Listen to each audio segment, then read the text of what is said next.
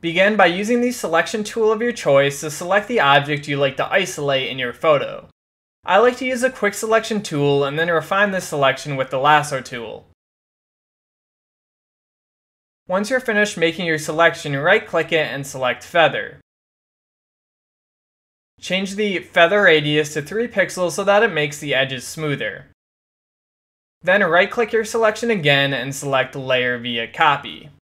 This will put your selection on its own layer. Next, make sure your background layer is selected. Now, while holding down the Control key, click on the thumbnail of your selection layer so that we can see our selection again. Then head up to the menu bar and go to Select, Modify, Expand. Set the value to 10 pixels. Next, go to Edit Fill. Set the contents to content aware and hit OK. This will remove your selection from the background layer. Next, right-click each of your layers and select Convert to Smart Object.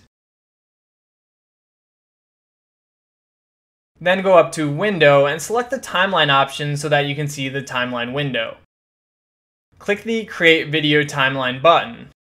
Expand your background layer and click the timer button next to the transform property to create your first keyframe. Drag the time head to the end of the clip. Press Ctrl D to deselect your selection so that you'll be able to transform it. Then use the Ctrl T keyboard shortcut to bring up the transform options. Now drag the handles to increase the size of the background. Holding down the shift key while dragging the handles will keep the image's proportions intact. You can also rotate it slightly if you want to animate it that way. Press enter to confirm the transform which will automatically create a second keyframe. Next, expand your selection layer on the timeline. Position the time head at the start of the clip. Click the timer button next to transform to create your first keyframe.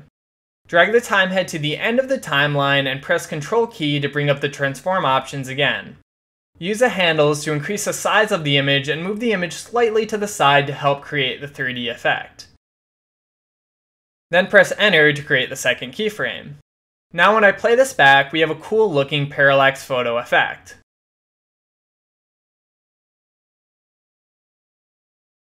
Finally, to render the video, click on the Timeline Options button in the upper right hand corner of your timeline. Select Render Video. In here, the default should work fine, but keep in mind that you probably want H.264 for your format with a high quality preset.